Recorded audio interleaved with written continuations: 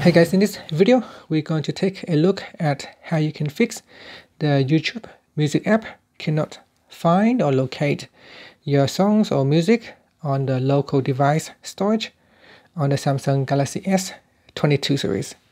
So here I have um, YouTube music app opened. So first let's go back to the home screen by tapping on the home button at the bottom of the screen. Then swipe up to go into the app screen and open up the YouTube music app. Now to find songs or music on your local device, they are mp3 songs or audio files that you have stored on your device. Normally if you tap on the library tab, up here there is a menu where you can choose device files. At the moment it does not show anything. So in order for you to access uh, music files on your storage device, what you need to do is tap on your profile icon at the top and in here tap on settings. In settings you want to go down and tap on library and downloads. And then in here tap on show device files. Now you may see that it's already turned on so what you need to do is switch it off then switch back on. And at this point it asks you do you allow YouTube Music to access photos and media on your device? So this time you're going to choose allowed.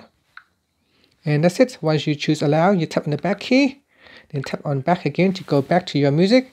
Now tap on home, then tap on library again. And this time you should be able to see the music tab at the top here. So now choose songs or album songs. And at the top here, choose device files. And from here, you will be able to locate music files on your device storage.